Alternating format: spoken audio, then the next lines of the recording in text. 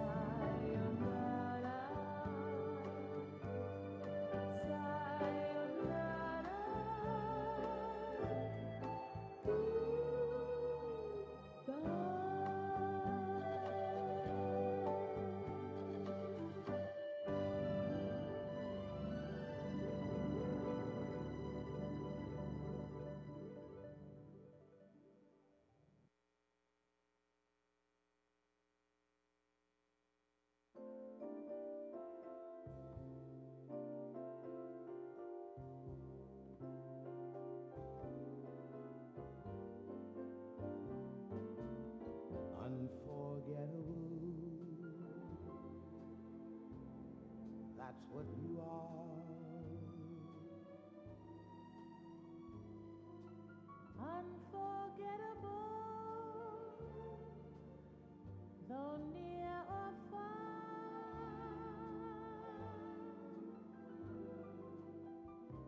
like a song of love that clings to me. How the thought of you does things to me never before. Has someone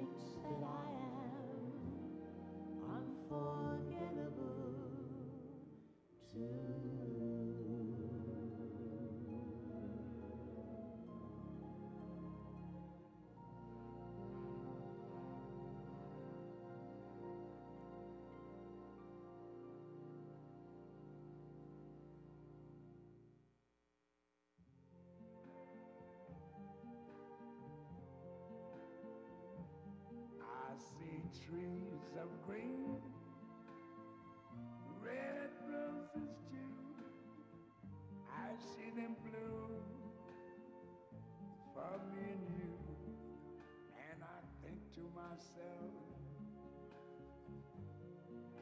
what a wonderful world.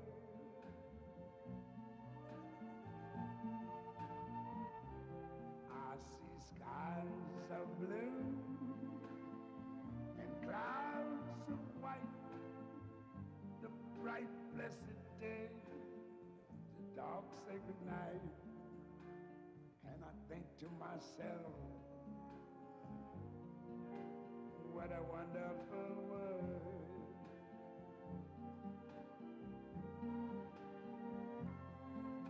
The colors of the rainbow, so pretty in the sky are also on the faces of people going by.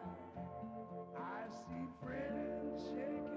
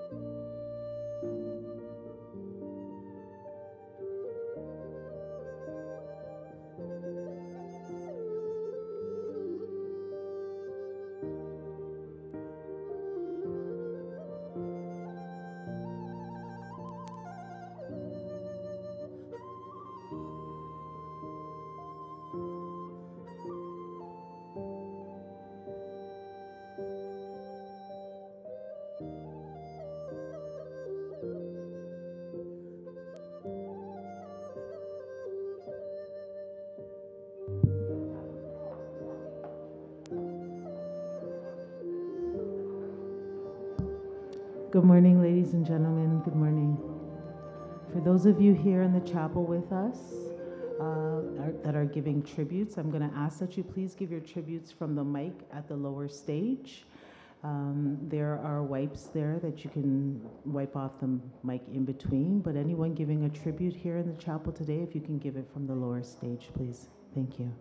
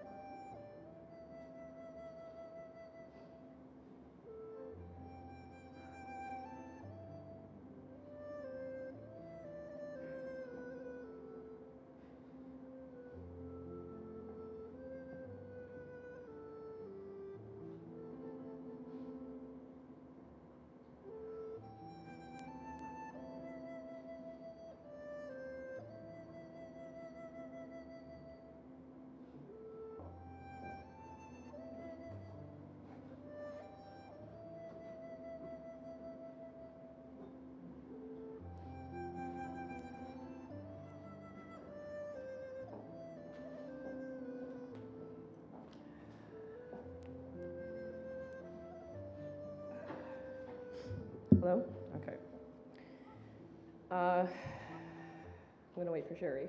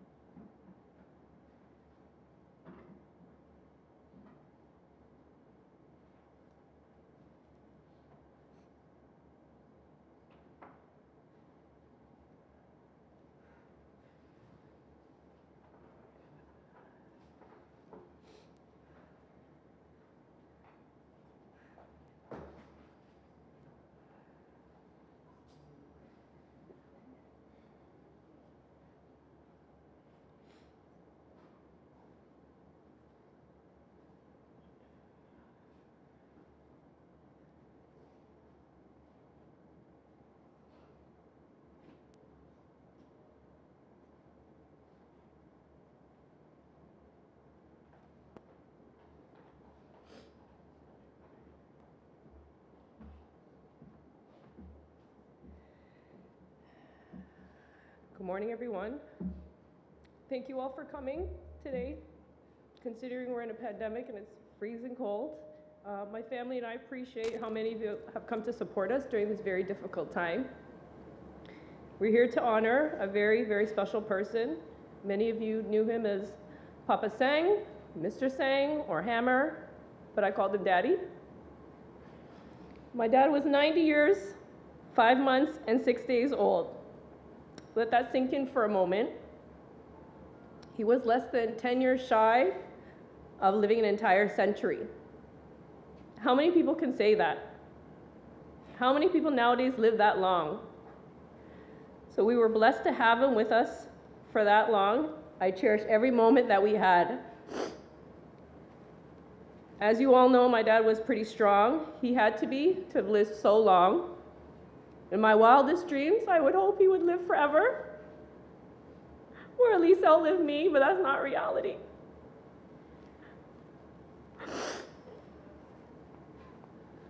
Over the last few years, as my dad's mental and physical health declined, you could say it kind of gave me time to prepare for this day. But as I stand before you today, I still don't feel ready to say goodbye. I want to acknowledge one thing. My dad had many, many, many friends. Uh, his friends were really his family, all my uncles that live here.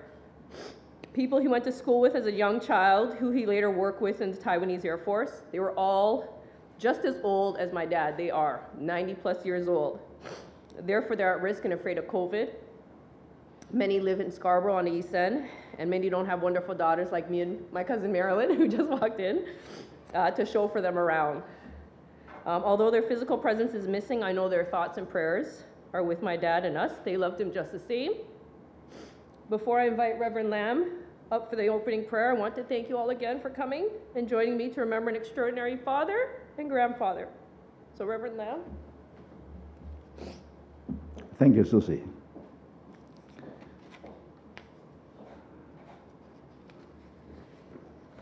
I would like to begin the service, the funeral service, with a prayer.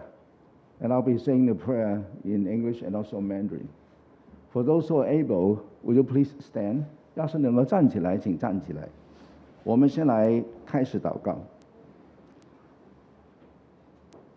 O God, our Creator and Redeemer, we are so grateful that you have made us all in your own image, given us gifts and talents.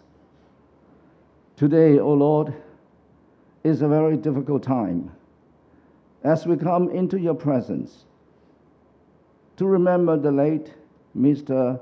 Chui Hsiang Tseng, and we all call him Hammer because we love to call him Hammer. Oh Lord God, thank you for all the years we share with Hammer.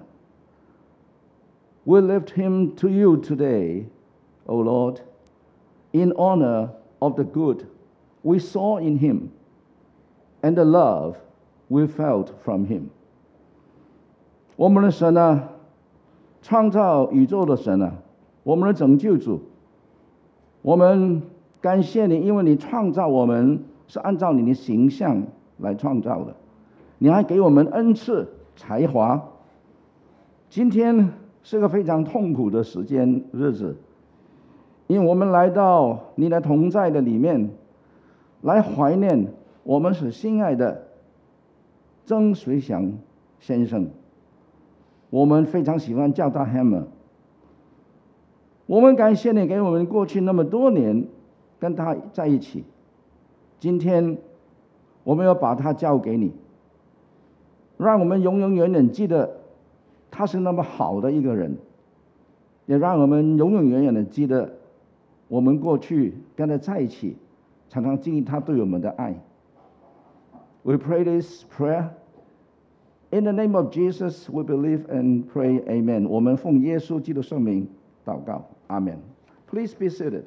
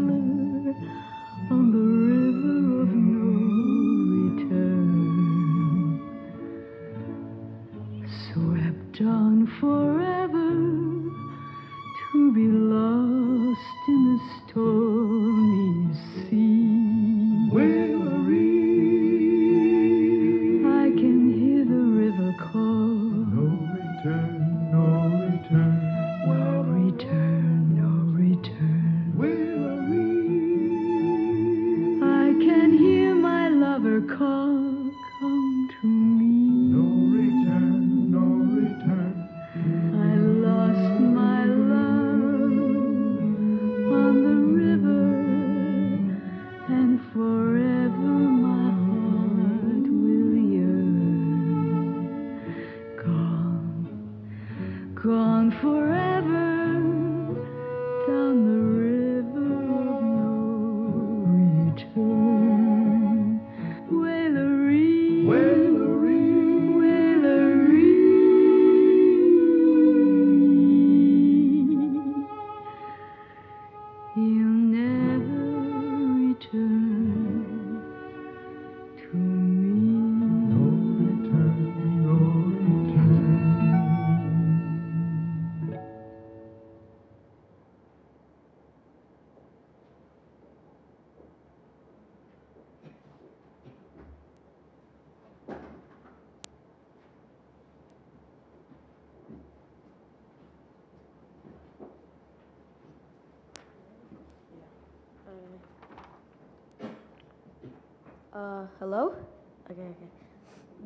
Is about my gongon.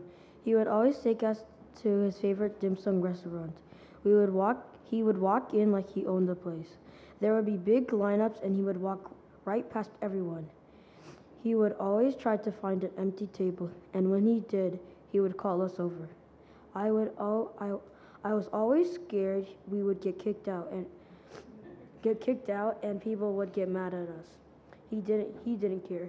When we sat down at the table, the manager would always come over and say hi and they would talk in Chinese. He he would place his order and always get our favorite foods. I like going because I got to spend time with him.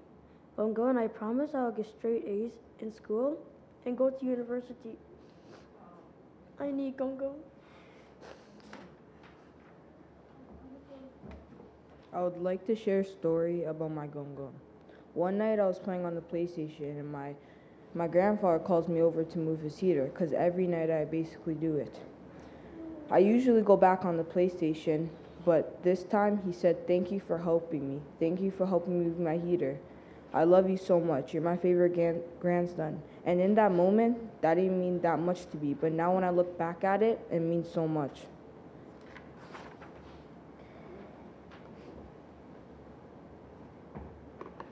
I just have a little poem. He has achieved success, who has lived he sorry, who has lived well, laughed often, loved much, who has enjoyed the trust of pure women, the respect and intelligence of men, and the love of little children, who has filled and accomplished his task in the world, who has left the world better than he found it, whether by improved poppy, a favorite poem, a rescued soul, who has never lacked in appreciation of the, the earth's beauty or failed to express it, who has always lo- looked for the best in others and given the best he had, whose life was inspir- inspirational and whose memory is dedication.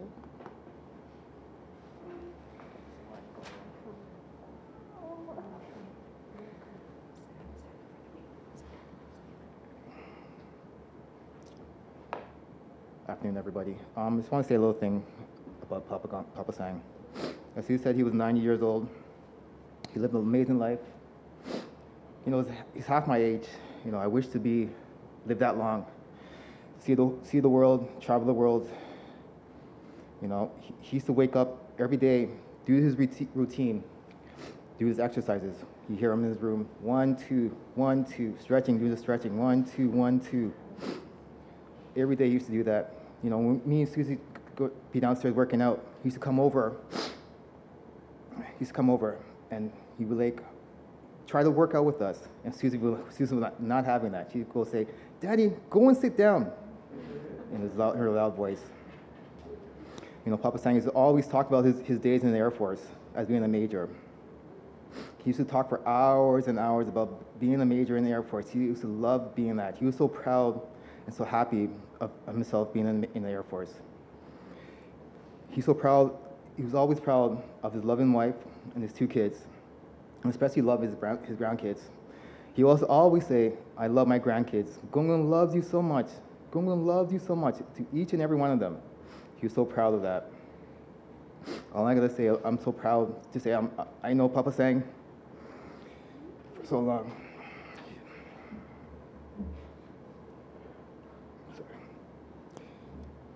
Being part of my life.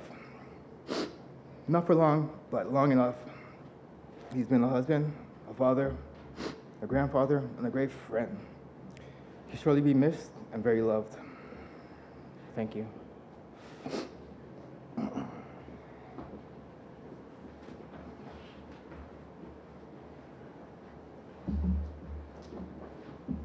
Ladies and gentlemen, at this time, with a uh, session for open mic, meaning that if you would like to say a few words, please, uh, you're welcome to come up here. And the maximum time is two minutes per person. So you can speak uh, in English or in Chinese.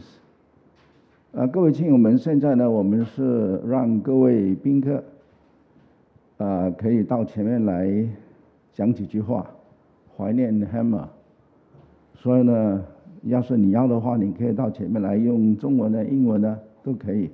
每一位呢能用最多两分钟。So uh, we'll just wait to see uh, who would like to come come up and say a few words. Please don't be shy.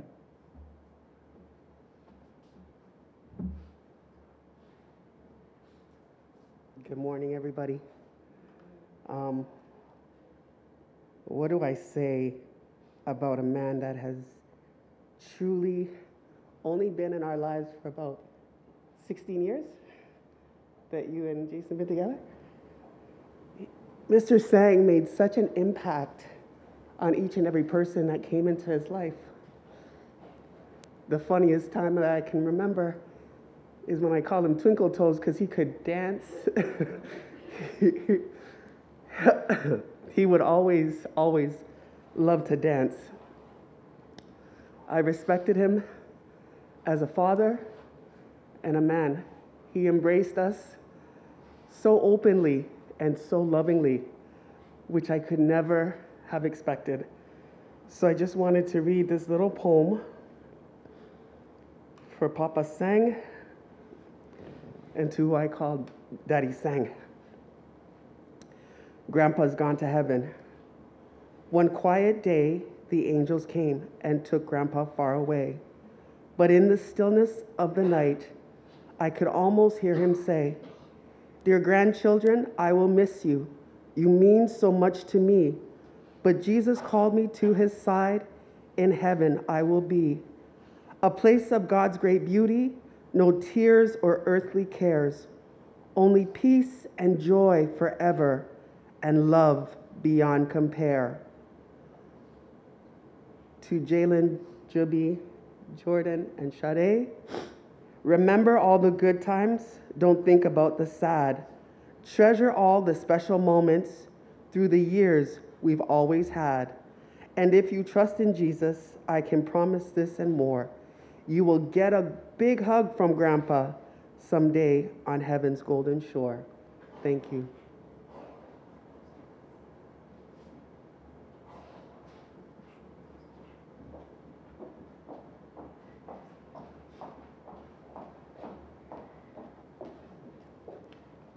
Hello, everyone. My name's Katrina. I want to thank everyone for coming out. Papa Sang's definitely looking down at everyone smiling right now. So, I was Papa Sang's caregiver. Oh my gosh. So, I was his caregiver.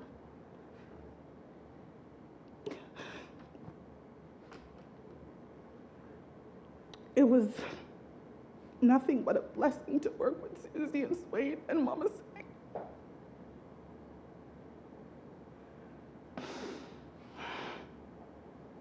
Every morning I'd walk in and I'd say the same thing to him and he'd say the same thing back to me. I'd say, morning Papa Sang, how you doing? And he'd say, ah, still alive. right? Oh God. He loved his grandson so much. He loved them so much. We'd go outside, he'd watch them swim, take bike, take bike rides, play basketball. He loved listening to music. Me and him would dance on the sidewalk in front of the house to his favorite songs. He loved going back. We would go back to the old Rexdale house and he'd give, he'd give me the grand tour. He'd be like, This is Susie's room. This is Swain's room. This is the school that they used to go to when they were kids. He loved that house so much and he, he was so proud of it.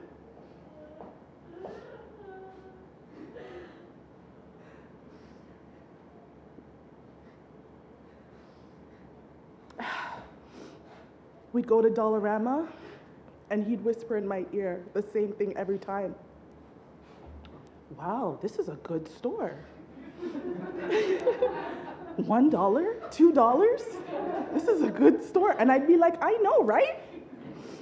He'd buy his lottery tickets and he'd say, Trina, do you want one? And I'd say, No, I'm okay. And he'd say, If you never play, you're never gonna win, you know. But his all time favorite, favorite, favorite place, the bank. I never seen someone so excited to go to CIBC. He would say hello to every single teller. Hey, how you doing? How's your family? He would say to them. He'd walk up to the teller and he would say, Give me $500. And I'd be like, We're only going to Dollarama. What do you need $500 for? And he'd say, oh, he, I have to give it to the boys. I have to give it to the boys. We'd go from doctor's visits to dentist visits, eye appointments, foot appointments, blood work, and of course, dialysis. His family always made sure that he was well, well taken care of. But we'd always end our visits over junior chicken sandwiches, french fries, and a small Coke at McDonald's. It was like our guilty pleasure. Papa sang, although I won't hear you say, still alive anymore, you will always be alive in here. Ladies and gentlemen, we still have time, so please uh, feel free to come up. 呃，我们还有时间呢，所以可以上来，please. Thank you. Hi, everyone. I'm Marilyn. As Susie says, I'm her support, her cousin. I've known Zen Susu, Uncle Zen, before he was married. We my father and Zen Susu were in the Air Force Academy together since they were kids, teenagers. So they've known each other their whole lives. They supported each other. There's quite a big community in Toronto. But slowly, one after the other, they're leaving. And my dad is still here, but you know, it's very hard on him. He wanted to come, but he's 92, so I said it's best that he doesn't. But on behalf of everybody, the whole Air Force community, all the families, we want to say goodbye. And I want to treasure all the times we had. Zangai, I've known her the whole time she's been in Toronto. And I've seen Swing, Born, Susie change their diapers. so he was a wonderful, wonderful man. And he is definitely very, very loving to everyone. And I'm here, Susie, anytime you need. And Zanai, we will see him again. Yeah. Thank you.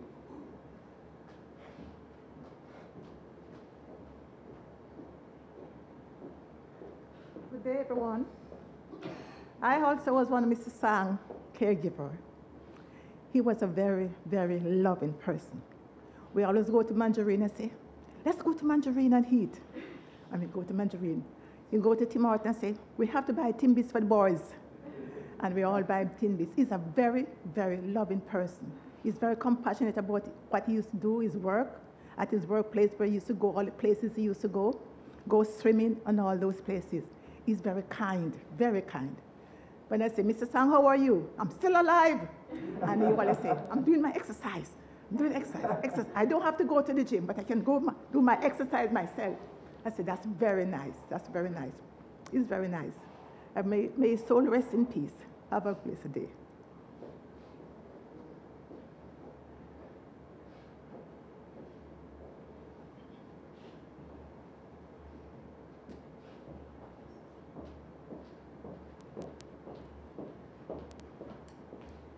Hello, everybody. My name is Priscilla, and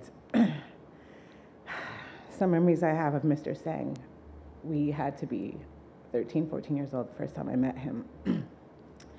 I'll premise this with this was a man raising two children in Rexdale. and we got into so many circumstances with the K car, different events all over the place, coming in late nights. And I never once saw this man raise his voice. He never got uncomfortable. I don't even think I've seen him angry. That is such a testament to the level of inner peace he had. he was so big on education, so proud. When Susie and I graduated university, graduated high school, Martin Grove, of course, Susie was on the honor roll. She got her studiousness from him. She would sit there in the cafeteria at Martin Grove with her back in a perfectly straight line, studying constantly while everyone else was playing dominoes, honestly, just messing around. And I remember when I got into real estate, he insisted on giving me this gigantic real estate book that was like this. It was like an encyclopedia. I'm like, we're online. We don't really do that anymore.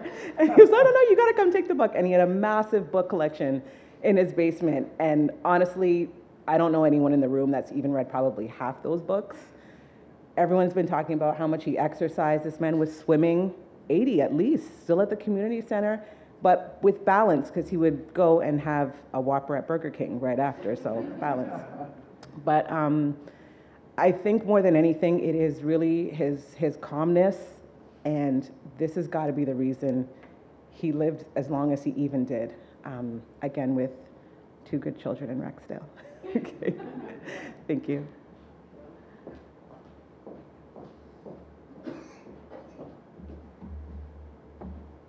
Um, we still have time for one or two persons who would like to come and say a couple of minutes, one minute or two minutes, reflection upon the hammer. 呃，宾客们，我们还有时间让一位或者两位呢，到前面来讲一两句话，让我们能够怀念呃曾水祥先生。 I'll just wait a bit.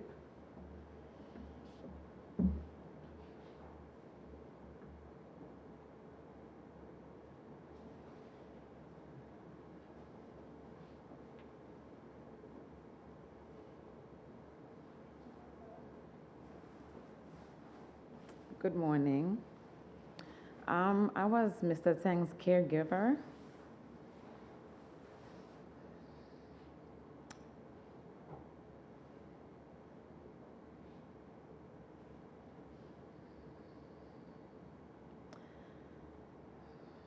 I learned a lot from him for the time that I was with him. Um, very grateful um, to have been accepted by the Tseng family to care for him. Um,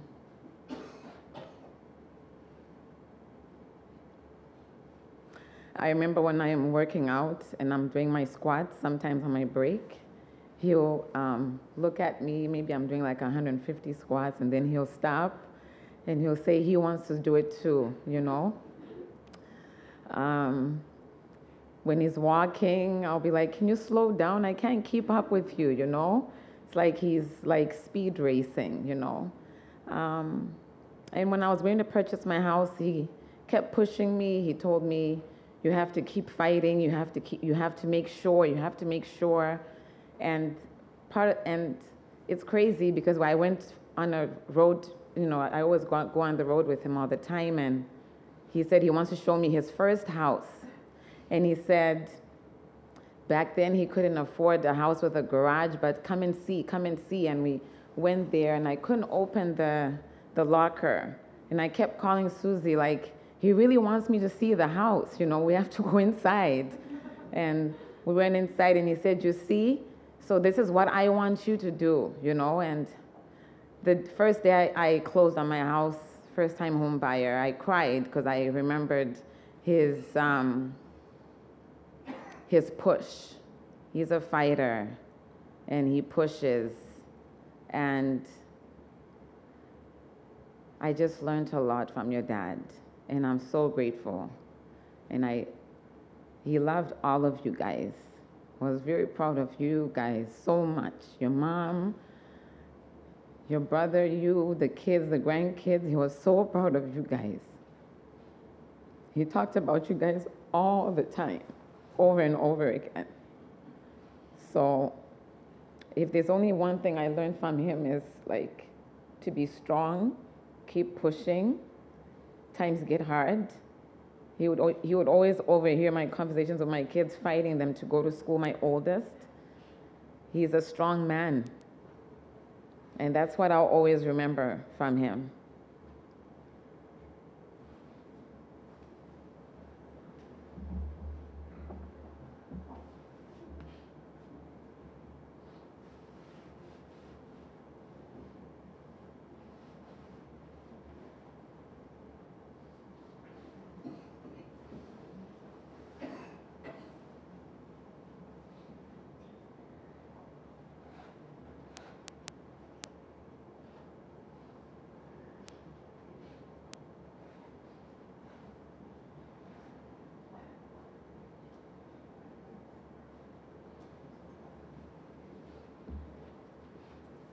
Do we have one more?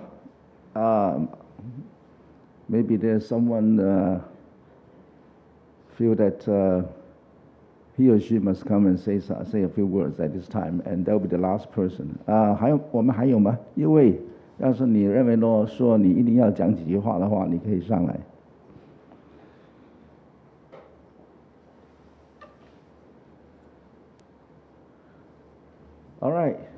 Thank you so much for those who have come up to share your beautiful thoughts um, about and of Hammer. Your sharings, your thoughts had enriched all of us. Thank you so much. 啊，非常感谢各位刚才上来的每一位，你们的话，呃，帮助了我们很多，也叫我们更怀念，呃，曾水祥先生。 At this time, we will have another musical interlude. I love you more than I can say. And afterwards, Susie and Swain will come up and share with us the eulogy. Please.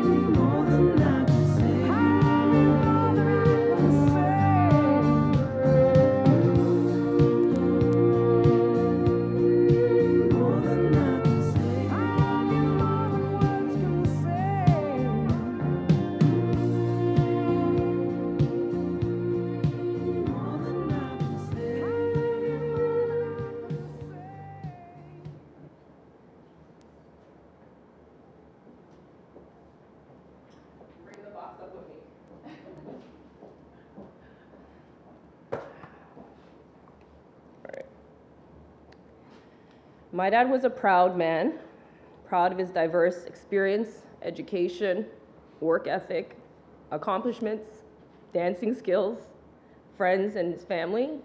He was most proud of his grandchildren. As proud as he was, no one was more proud of my dad than me. To grow up the way he did was tough in many ways. So to look back, understand where he came from, where he ended up, to make sure his family had a bright future and had nothing to worry about is an extraordinary accomplishment. My dad was 90 years old per legal Canadian documentation. That's a goat in the Chinese zodiac. But I'm compelled to tell you, because I know he's standing beside me, telling me to correct myself, is that he was actually 92 and born in the year 1929, which is the year of the snake. Years ago, his sister in China told him that his documentation was wrong. That's all he needed to hear. He would then, from then on, he would tell people he was older. And then to make it more confusing, while most people around the world, uh, age at birth is zero, the Chinese actually start at number one. So once you're born, you're in your first year of life, you're one years old. So they add a year. So then my dad would tell people he was three years, three years older than he really was. I can hear him in my ear telling me to make sure that you all knew he was 93 and not 90. Whether he was 90 or 93, we were blessed to have him with us for so long. Uh, my dad was born in Chengdu, Sichuan, China. He was born in a time when his mother, my grandmother, had her feet binded, which was a Chinese custom. Foot binding was banned in 1912. That's how long ago it was. That's how old my dad was.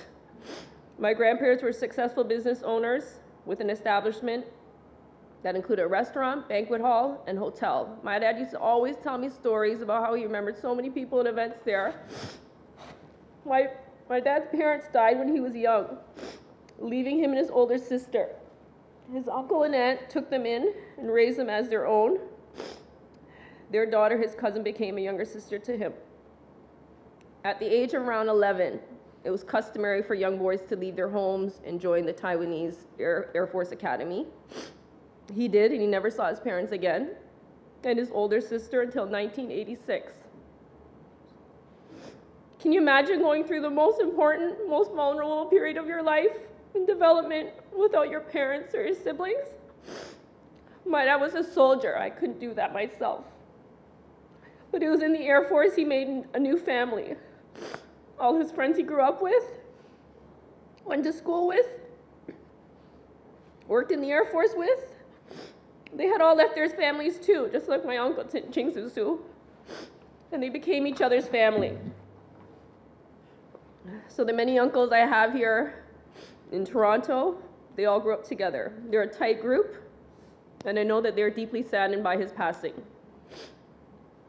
As an officer in the Air Force, my dad was a translator, very fitting given his strong English language skills. Preparing for this eulogy, I reread some of the things that he had written or typed on his typewriter. He was so articulate. I bet, as would he, that he could write better than any of us in this room who are Canadian born. He was that good. After my dad quit the Air Force, he worked for Admiral Overseas Corporation, American company in Taipei for two years, and then China Airlines for two and a half. In 1968, he moved to the US to advance his studies. In 1974, he completed his MBA, moved to Canada, married my mom on, my, my mom on September 5th, 1974, in 1975, he had Swain, and then three years later, at the age of 47, his million dollar family is complete with me. That's all you need, just me. I have so many fond memories of, of my dad when I was little. He was always reading something or buying books. His collections of books was in the thousands. We would go to the Albion Library a few times a week and stay for hours on end. He would be in the adult section reading, and I'd be in the kids' area doing my homework. Like that was one of our shared joys. As a little girl, I remember always going on roller coaster rides with him. And my mom never liked those rides, so it was always me and my dad. After a long day at the park, I would cry and whine for my dad to carry me around. And I was pretty plump, I was a little heavy. At the time, I didn't realize that he was in his mid 50s by then. But you would have never known. So he hated seeing me upset. And he would scoop me up and carry me around. I was definitely daddy's little girl in every sense of the word. There would be times when we would get in trouble and we would get licks and yelled at, but not me. I would shed a tear and my dad would just melt. I escaped more slappings from him than Swain. But that's for sure. But don't feel, don't feel bad for Swain, everyone, because he's my mom's favorite to this day. It is what it is. Very well known, right, guys? That's right. You see that? You see that right there? You see that, right? we know. Education was so important for my dad. We had rabbit ears for TV and had only three channels that came in. And he always would say to us he refused to get cable because it was so expensive. A small part of me believes that, but I believe they just preferred that we read or studied. If we struggle with something in school, he would just literally give us a textbook or photocopy pages of a textbook and tell us to read it and try to understand it. Then he would try to explain it, and sometimes that would be even more, be more confusing. He would get so impatient if we didn't get it, he would bang his hand on the table and yell at us. Swain got yelled at more, of course. I remember in grade six, I got 96% on my report card. And my, did, my dad didn't pat me on the back. He asked me where the other 4% was. He taught me to strive for, protect, for perfection. My dad always told us how important it was for us to go to university. I looked up to my dad so much, and I wanted to make him proud. I would promise as a young girl I would go. At the age of 11, I remember seeing Joey McIntyre from New Kids on the Block wearing a UCLA sweater. I told my dad I want to go to the, that university. You know what he did? He saved up all the money and some in US so that I could go. Just because I told him I wanted to. That's the kind of dad he was. Supported me 100%, 100% of the time. As I grew older, I decided to stay close to home so I could take care of him my mom. My dad always put his family first. He always talked about making sure we had a better future so we wouldn't have to go through the same hardships as he did. All parents want that for their kids. He never spent any money, he never splurged, never went on vacation, he always paid his bills on time, he always thought about our future. He was always there for me just to talk to, to support me in every single important moment in my life. I could not ask for a better father. He was that magnificent to me and more. My dad was a man of his word. If he said he was going to do something, he would. And he expected the same commitment and integrity from others. If you said the word promise, you better deliver on all fronts. My dad promised his friend a collection of books from a famous Chinese author. You better believe they're still sitting in his room right now. I tried to donate them, but he would always tell me, I'm saving, I'm saving that for my friend. I told him, and I have to give it to him. I don't know which friend it is or even if he's still alive. I just know that he lives in the States. And even in death, my dad will make certain that I get this book collection to him. I'm just waiting for his sign. Since he passed away, he's been talking to me without talking to me. Things that make, would make people scratch their heads. But knowing my dad, he's just reminding me to do something as he always did. Literally, he was like a broken record. My mom is the same way. I will get to it, I promise, Dad. My dad loves his grandbabies. Love being with them. Love hearing the noises of their voices. He loved having them as, as his eating partners at McDonald's or ice cream, dim sum, burgers, milkshakes. Every time he saw them, his face would brighten up. He was so proud to tell people he had three grandsons. Proud they were all tall because Chinese people love that. Proud how strong they were. If he didn't see them for a few hours, you better believe he would ask where they were. When they came home, he would always tell them how much he missed them. What I take most from this is that my is that they will remember him and, and the, the, the deep love that uh, my, had, my dad had for them. you can see in the order of service, each of the boys have a Chinese middle name. Jalen has my dad's first name as his. He was so proud when I told him. I asked my dad to pick middle names for Jibby and Jordan, and he did it with so much love. He researched different characters and their meanings and put a lot of thought into it. It was also important for me to keep my last name, his name, and to include in the boy's last name. I did this so his legacy will live on in them and with them. The last few years of my, of my dad's life was special. He finally agreed to move in with me in 2018. It was mentally and emotionally hard for him to leave that house in Rexdale. He loved the area, the home where his most precious memories were made, and he was loved so much by the neighbors. They would help him too. Sometimes they'd cut the grass, just pop in to say hello and make sure he was good. After he moved in with me, he would still make us take him to go see the house. He was so happy I decided not to sell it. I promise, Dad I'll continue to take care of your house. My dad's health was pretty stable until recently. In the last few years, he had fallen a few times, broke a few bones, was deemed legally blind in 2017, and then eventually lost his right eye eyesight this year. His hearing was going. He suffered from Alzheimer's, dementia, kidney disease, just to name a few things. But if you saw him, you would have never, ever known. He was strong. He fought through it all. Partly because he's so stubborn. He didn't, he didn't believe you, he could no longer do something, that he was used to do it.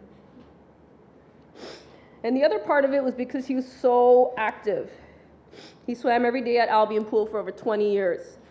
He told me once that he would do over 30 laps a day. I could barely get five in my much smaller pool. If he wasn't swimming, he was walking and walking fast at that. Even in his 80s, I couldn't keep up with him. He loved to dance and do Tai Chi. I mentioned this recently to a few people, but I will share it with you all. As a little girl, I realized my dad was older, and I used to pray. I used to pray to God to have my dad live as long as possible. As I got older, I would pray to God to let my dad live long enough to see me graduate university and meet his grandchildren. In the last few years, I prayed to God that when my dad would pass, it would be painless and peaceful. My prayers were answered. Everything I asked for, I received, and for that, I'm very grateful. My dad lived a long, blessed life. I will also say, every single decision I made for my dad was made with the utmost care and attention on the basis to ensure he was always safe, that he felt safe, that he was comfortable, and as happy as he could be. I never took any decision lightly, and I never took no for an answer when it came to something I knew he would need or want.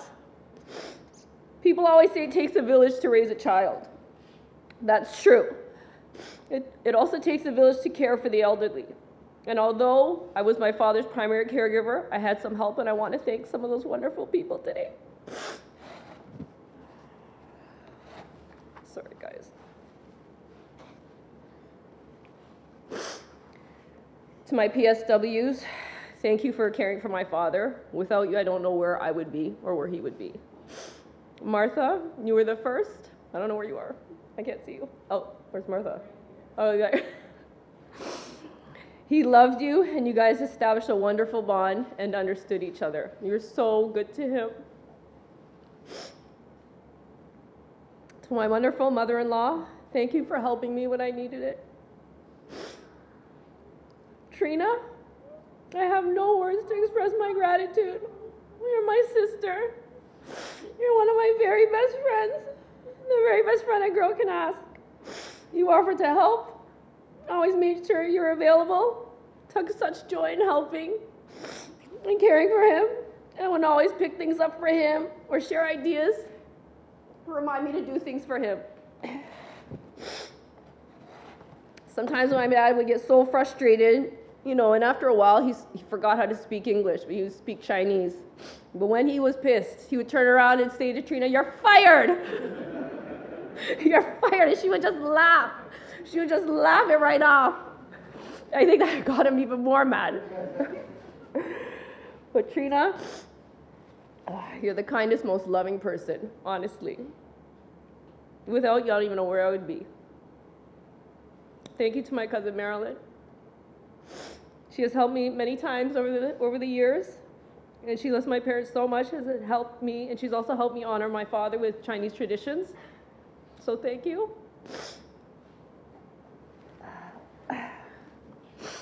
The best husband in the world.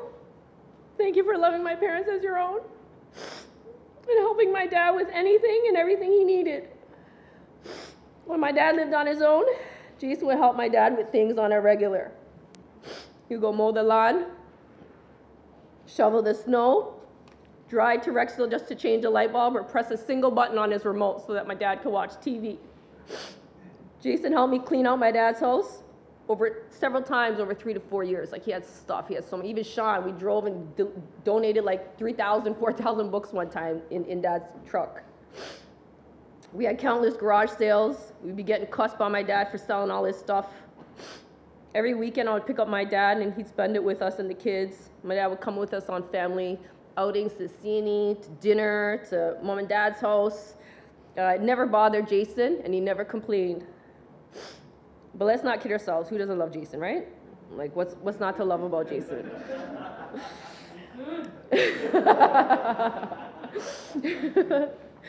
he was also so proud of him, and he always introduced Jason to everyone as his son. Thanks, babes. I could not have helped my dad if I didn't have you to support us. Thank you to my mom.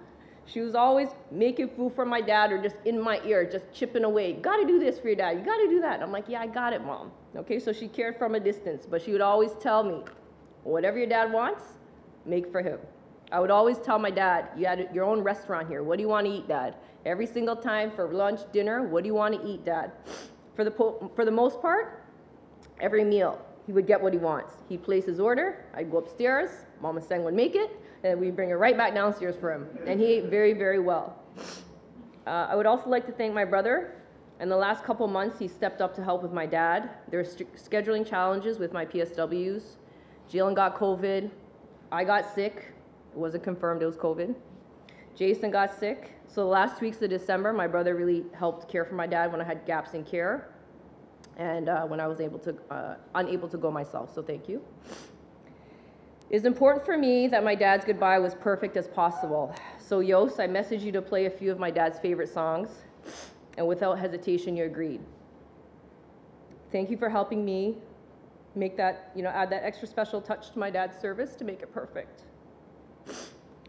Reverend Lamb, thank you for support in my father's service. It means a lot to have a final prayer and blessing for him in Chinese. And then lastly, Sherry and the New Haven team. Exceptional job. You made the hardest point period of my life as easy as possible. You know, I called Sherry in December when I wasn't sure if my dad was going to make it. And her response was, Sue, I got you. Don't worry about it. I'm here whenever you need me. And so, moments after my dad passed away, I messaged her and asked her to pick him up as soon as possible because I hated, he hated being by himself, and I could not stand the thought of him being alone in the morgue. She was on it. She got him as soon as possible. She kept me up to speed on where he was. It gave me great, it gave me great comfort to know that he was here with her. Cher, I'm so blessed to have a friend like you. I love you very much. Thank you. Daddy, I can't express in words how much I love you and always will. I know you know how much I do. You are the best father and grandfather anyone can ever ask for. I am so proud to say you are my dad. I miss your smile. I miss your hugs. I miss the sound of your voice. I miss seeing you every day. I miss everything about you. I know you'll watch over me and the boys. Since you've been since you've passed, I've been waiting patiently for you to come visit me in my dreams. So I can tell you I love you. I told the boys that too, that he's gonna come. He'll come see them. Please hurry up. I can't wait to see you again and talk to you. I love you, Daddy.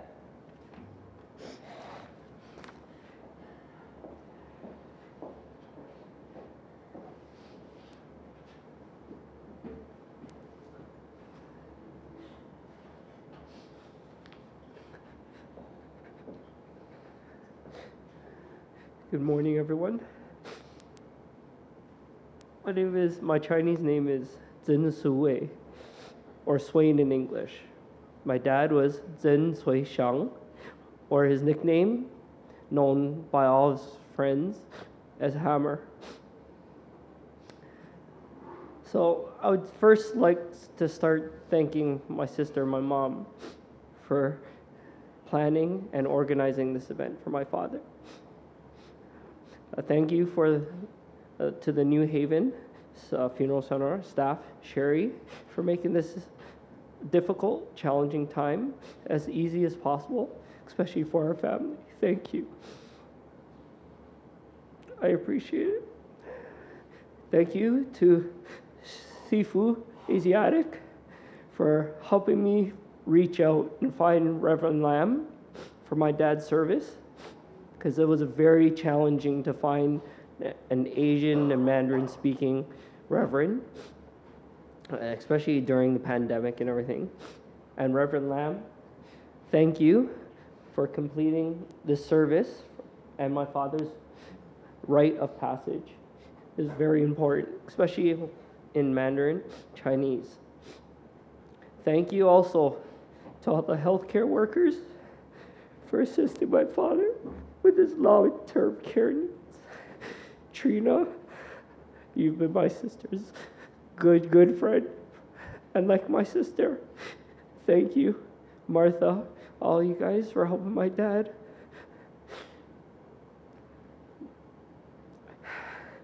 I'm thankful for all of you that came out today. And those of you that could not be here, that you're actually watching the service through the live stream to celebrate my father's beautiful life. I know some of you have traveled some distance to pay respects, and uh, my, I know my father would love seeing everybody here paying respects and being here together. Although it's going to be a very challenging next few days. I want to take this time to remember and honor some special memories I have with my dad. In addition to the things listed in his obituary, personally, he's taught me a lot and to be open minded towards music. He introduced me to uh, Connie Francis, Frank Sinatra, Diana Ross, and Motown, a lot of the old tunes that most of the younger generation won't understand or know about. This led me to become and help me to become like a DJ uh, for a lot of events and uh, at nightclubs when I was younger. Thank you, Dad, for the lessons in ballroom dancing, which I wasn't great at. However, it led me to be more rhythmic while dancing well like he did.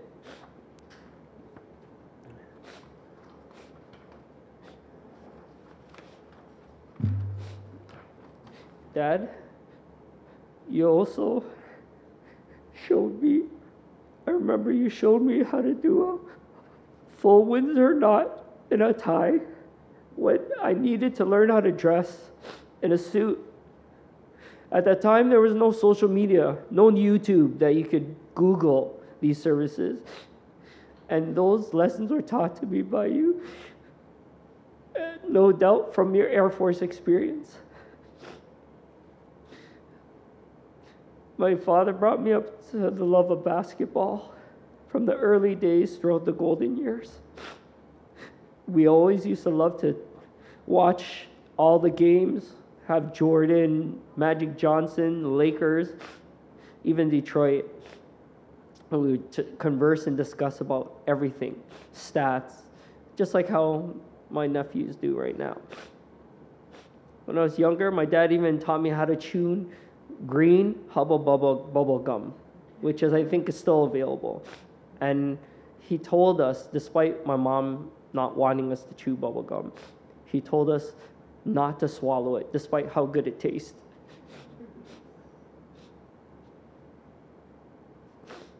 My, my dad always watched, enjoyed watching old westerns, black and white movies or shows.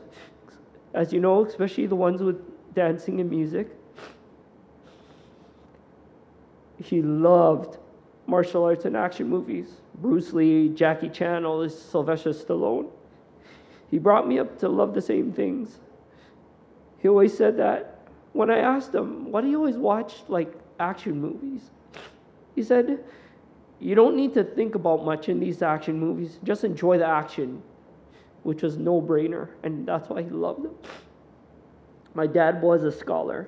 He's proud of his education while always was willing to strive for more knowledge and to learn as much as possible, whether it be through life or through reading. He stressed education is a huge priority so we could be prepared and knowledgeable to thrive in our futures. He always gave us books and business concepts like management mathematics. He even gave me a book on business customer service to help me when I open up my store. And I hate mathematics. Not just because we're Asian doesn't mean we all like math- mathematics. so to my dad,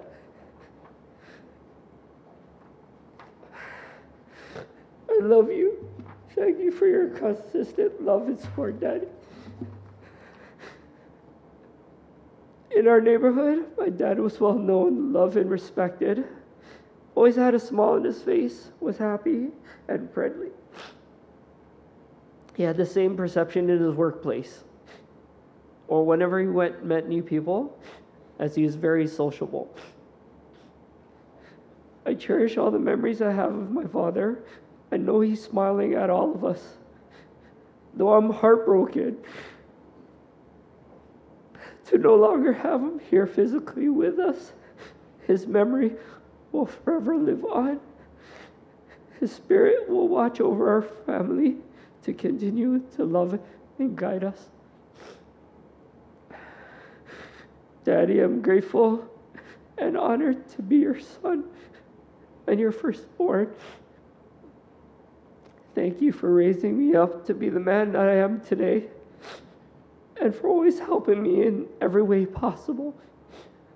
I promise I'll continue to make you as proud as ever. Sorry.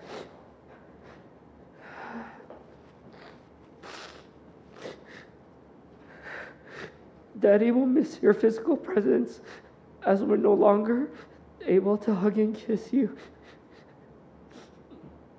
We will forever love you. May you rest in eternal peace. And for, to conclude this, I leave you with this Chinese proverb that my dad would probably love. Life is like a dream, and death is like going home. Daddy, we'll all love you, and I'll see you eventually at home. Thank you, everybody.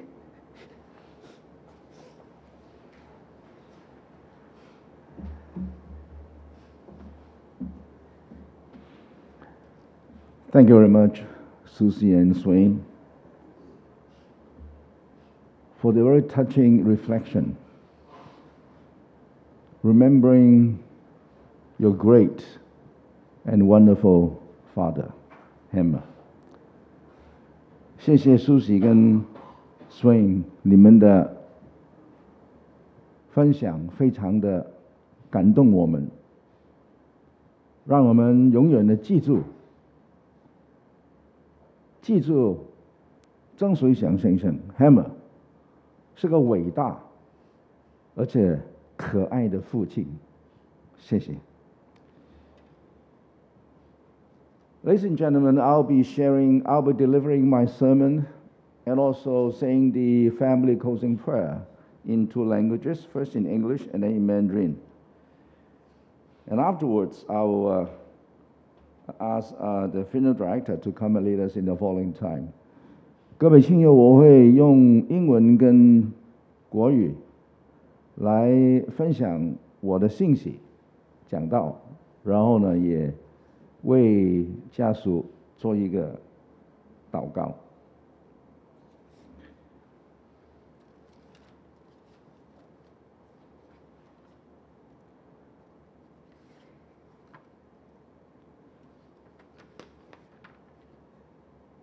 I pay, I pay great attention to what Susie and Swain had just said in the eulogy. And I can tell that uh, what they have told us or shared us are very close also to my thought. So today, I just would like to deliver a short message on where a person will go to when they pass away. Now, from a Christian perspective, from the Bible, there are two places I'd like to quickly mention. The first place is called paradise. And the second place, later on, is called the heavenly city. Now, when Jesus Christ was crucified on the cross, this person also was crucified at the same time next to Jesus. That person asked Jesus to please remember me. And then Jesus looked at him and said, Today you will be with me in paradise. Now, this word paradise used by Jesus in that context denotes, describe a physical place, a real place, a physical place. Not like a place in the metaverse. Now, the millennials, the young people, are talking about metaverse almost every day. Now, the metaverse is a virtual world, it's different. What Jesus uh, talked about was a real world, a physical place in the universe. Now, um, I would like to share with you a story to show to you that there was someone actually been there and then returned to give us this testimony. And that person was called the Apostle Paul. Paul, uh, first of all, before Paul became a Christian, he was very, very rebellious. He did not believe. But then afterwards, Jesus Christ appeared to him, and he uh, became a, an apostle to bring forth the gospel to other people. Now, uh, in one incident, according to Paul's record, in 1 Corinthians chapter 12, 1 to 5, the apostle Paul had been there and then returned. Now listen to what he had written down in the Bible.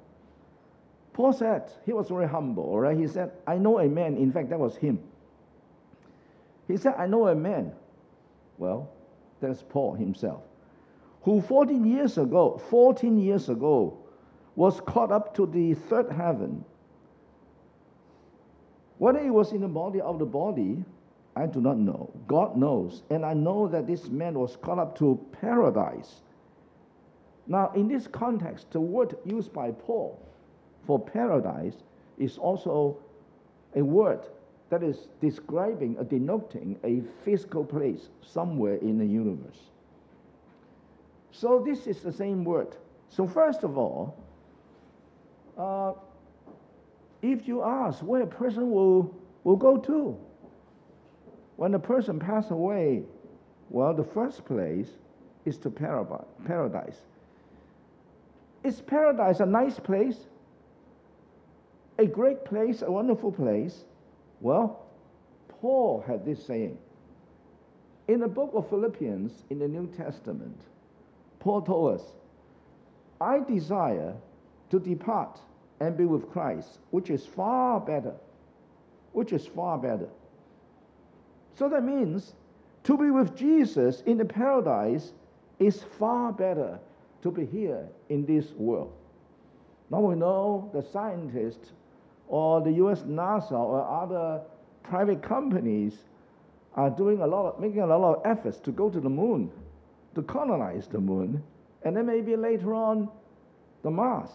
Well, I really appreciate the efforts. It's not easy to do that. But then, the thing is that the paradise is far better than this world. I do not mean that this world is not good. This world is important for us, for our survival. But when a person, when the days of a person are done, where, where does the person go to? The person will be in paradise. Paul said, the paradise, to be in the paradise, is far better.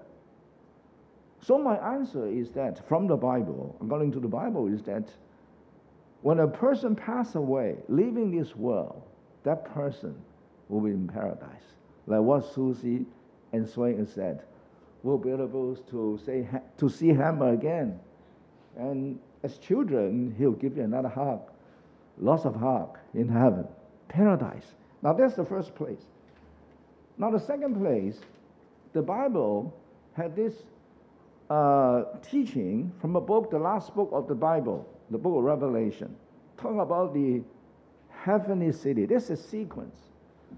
God will bring Jesus Christ back, and also those who are in paradise. And then Jesus Christ will go and establish that heavenly city. Now, uh, quickly, may I uh, read a couple lines to you? I would like to give you a um, kind of picture of the holy of the heavenly city. Revelation 21, 23. The heavenly city does not need the sun or the moon to shine, for the glory of God gives its light. The nations will walk by its light, and the kings of earth will bring their splendor into it. On no day will its gates ever be shut, for there will be no night there the glory and honor of the nations will be brought into it. And there's a second saying in here, Revelation 21, verse 11. It shone with the glory of God, and its brilliance was like that of a very precious jewel, like a jasper, clear as crystal. Yet at a great high wall with 12 gates and 12 angels at the gates. Well, to sum it up, basically, what it said is that the heavenly city is a wonderful place. It's a beautiful place. And there's no night in that glorious place. And we all, we all will be there. So may God's word give you hope and comfort. May our gracious and loving God comfort you. May God's arm of love wrap around you as you bereave the loss of your loved one, Hammer. Now, at this moment, I will uh, use my Chinese Bible and um, share what I just said in Mandarin.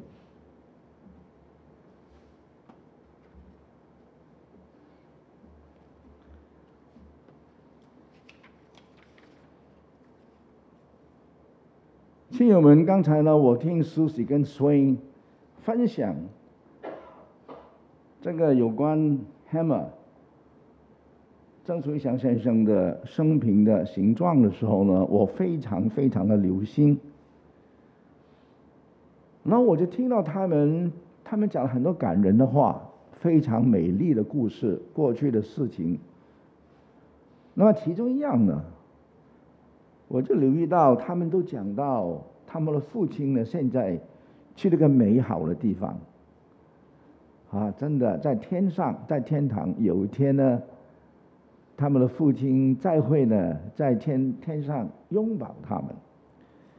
那刚好呢，我准备的信息呢，也是讲到一个人呢，离开这个地上之后去了哪，在什么地方呢？圣经呢，这个圣经有记载啊。从基督教的这个信仰来说，有两个地点，一个是乐园，一个是天上的城市。啊，乐园呢，英文就 paradise，天上的城市呢是 heavenly city。所以呢，我现在就简单的来分享一下。各位啊，当耶稣基督在实际上被钉的时候呢，受死被钉。有另外一个人在他的旁边，也是被钉受死。那么那个人说：“耶稣啊，请你纪念我好吗？”耶稣说：“没问题。”耶稣说：“你今天呢，就要跟我在乐园里了。”乐园跟那个人说。那么“乐园”这个字啊，耶稣用这个字啊，是个实体的、实在的一个地点的字。乐园，好像你说你去这个 Wonderland 是一个实在的地点哈，说乐园是个实在的地点，不是一个虚拟的。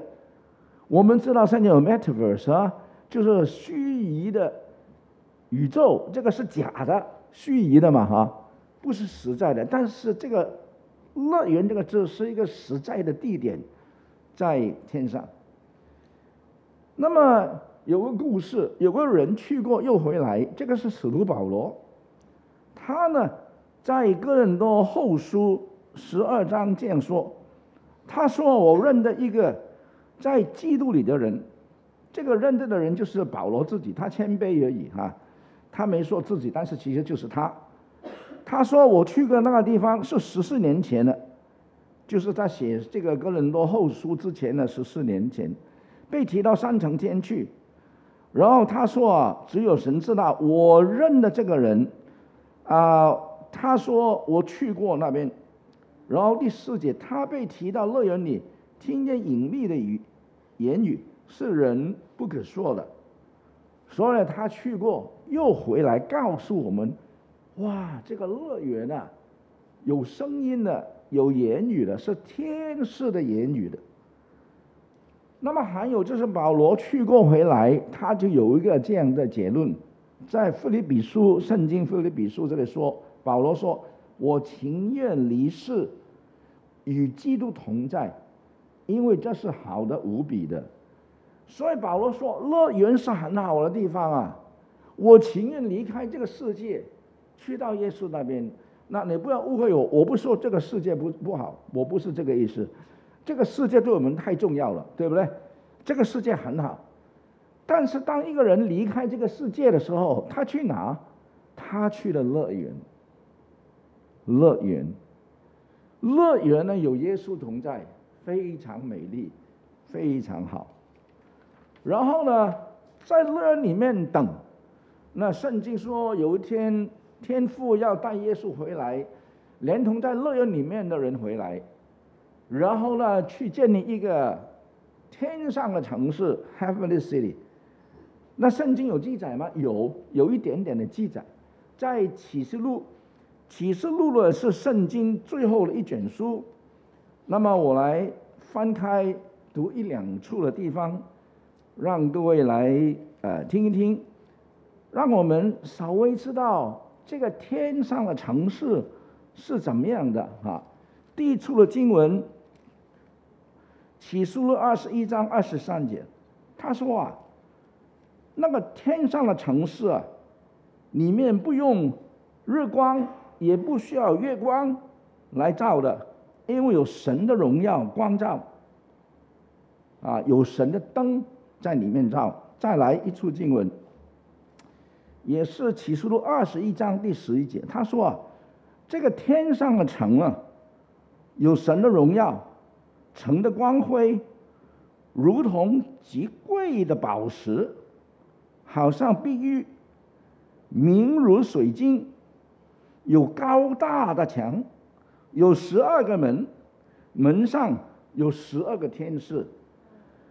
所以各位啊，圣经有告诉我们，天上是怎么样的。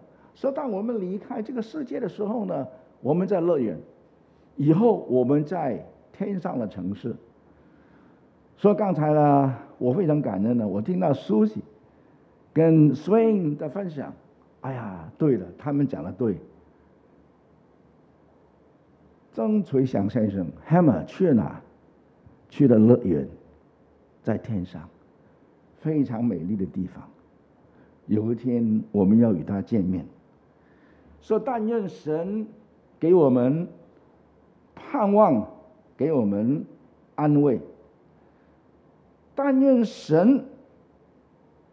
他慈爱的手拥抱着我们，因为当我们在这个痛苦的日子的时候，我们最需要的是上帝的慈爱跟恩典。我们现在一起来祷告好吗？呃，要是你能够站起来，我们就站起来。I would like to say the family closing prayer. If you are able, please rise. And I'll say the prayer in two languages. 那我用英文、中文来祷告。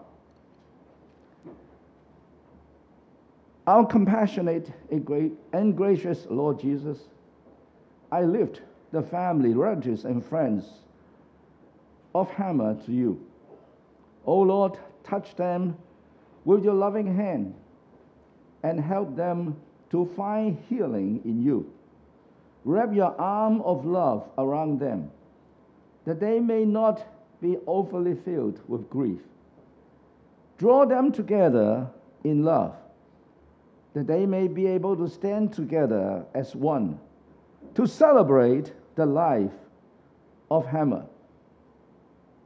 May his legacy carry on in the life of his loved ones. May the fond memories they shared with Hammer remind them of the love that you have for them. O Lord God, protect the family and fill their hearts with the assurance of your loving presence. 慈爱的天父上帝，我们的主耶稣基督啊！ 我现在祷告的时候，把家属、亲戚、朋友都交给你。当我们一起来怀念 Hammer 的时候，郑垂祥先生的时候，我主要愿你来用你慈爱的手来医治他们，用你慈爱的手来拥抱他们，叫他们不会在痛苦、忧伤的里面。来失去了自己。但愿他们能够手牵手的，家中每一个人手手牵手来纪念 Hammer，因为他的一辈子就是一个庆典，也让我们以后怀念他，学习他的榜样。神啊，愿你帮助我们，保护我们。更让我们知道你是天天陪伴着我们的慈爱的神。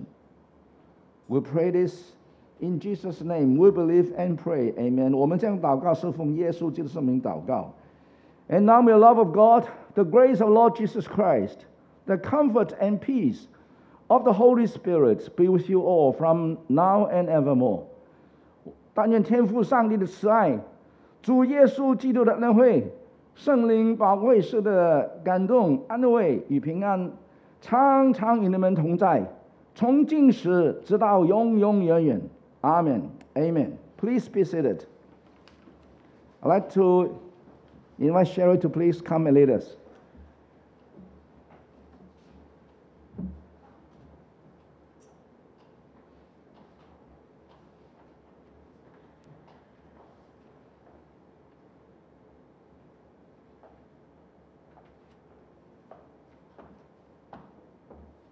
Good afternoon, ladies and gentlemen. On behalf of the Tseng family, I'd like to thank everyone for attending the service today. And for those of you who joined us on the live stream, we thank you. As service draws to a near, um, any of the guests here in the chapel, the family is going to, you'll be given a white envelope that contains a lucky coin and lucky candy. Um, courtesy of the family that will be given to you when you exit the chapel today uh, service uh, draws to a near, Yosvani will play Sayonara, Japanese goodbye, and then he'll lead us out of the chapel, followed by Reverend Lamb, the casket, and then I would ask that the family follow him behind. And lastly, Mama Sang, Swain, Susie, thank you for trusting me and allowing me to serve you. Thank you.